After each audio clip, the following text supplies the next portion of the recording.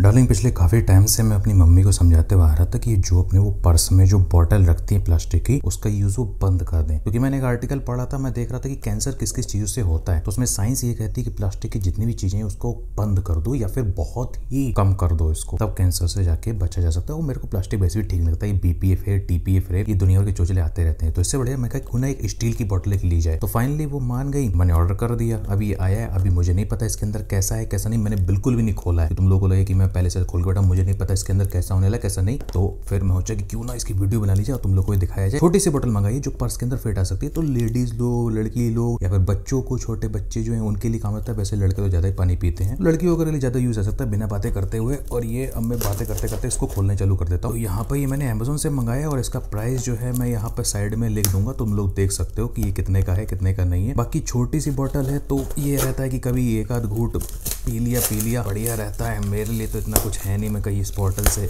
मैं क्या ही कर पाऊँगा। अपने को क्या जितना इस बॉटल में पानी नहीं आएगा, उतना तो मैं अपने मुँह में भर के चला जाऊँगा और जब पीना होगा, उसको घटक के पी जाऊँगा। लेकिन लड़कियों वगैरह लोगों के लिए ठीक रह सकता है, बढ़िया रह सकता है। तो यहाँ पर ये इस तरीके का है। ये देख रहे हो तुम लोग को, और ये यहाँ पर पैकेट वगैरह फाड़ा और इसको फेंक दिया। अब देखो, यहाँ पर ये है और ये इसका नाम है ये कैमियो वन सिक्सटी पेक्सोपोप टोपो पोपो क्या है। फ़िलहाल ये इतनी सी छोटी बॉटल है मतलब ये देखो, मेरा इतना ये हाथ है। ये देखो, इतना, केवल इतना है ये। और शायद ये ढाई सौ एम की मेरे ख्याल से है या एक नहीं नहीं, एक सौ साठ एम की यार एक सौ साठ एम की बॉटल है यहाँ और इसको अब खोल के दिखाऊँ मैं तो अभी तो बहुत छोटी है यार। ये देखो, बहुत ज़्यादा छोटी है। तब भी काफ़ी सही है यार, देखने में बहुत सही है। देखो, नीचे से ऐसे इस तरीके का स्टील की बोतल है, ऊपर से भी हार्ड स्टील और ये ब्लैक कलर जो है, काफ़ी ज़्यादा मस्त लग रहा है, बिल्कुल ज़बरदस्त। दिखाऊँ मैं तो ये। फ़िलहाल ये छोटी सी बोतल मेरे हिसाब से ठीक है। अगर किसी भूतनी के। हाँ ये रहा।